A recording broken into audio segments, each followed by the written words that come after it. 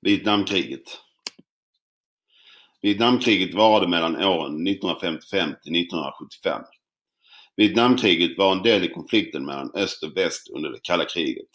Detta kan ses i att östblocket med Sovjetunionen och Kina i spetsen stödde den kommunistiska regimen i Nordvietnam och USA stödde den högerledda diktatur som satt i Sydvietnam.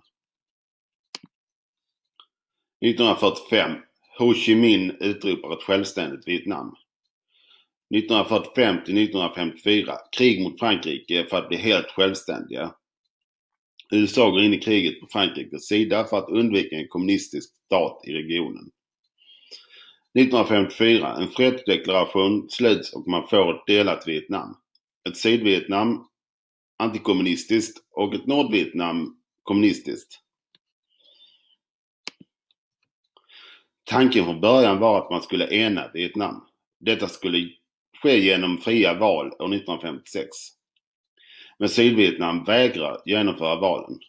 Sydvietnam vägrar genomföra valen bland annat därför att man är rädd för att kommunisterna skulle vinna valet om det hade hållits.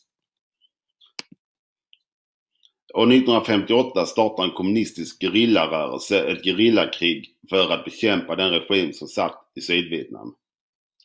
FNL får stöd i sitt gerillakrig från Nordvietnam som gärna ser en annan regim än den som satt vid den här tiden i Sydvietnam. FNL ville att även Sydvietnam skulle bli kommunistiskt.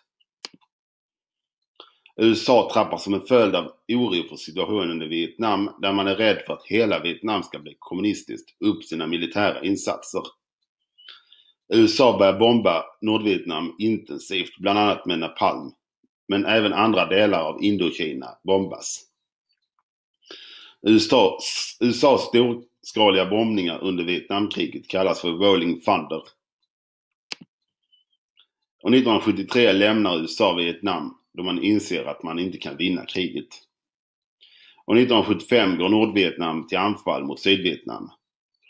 Sydvietnam som inte längre har USAs styrkor i ryggen förlorar. Vietnam blir ett land under en kommunistisk diktatur. Tre miljoner eh, vietnamesier dog i Vietnamkriget. USA stod som den stora förloraren av externa parter som blandat sig i kriget. Men den riktigt stora förloraren var befolkningen i Vietnam på kriget.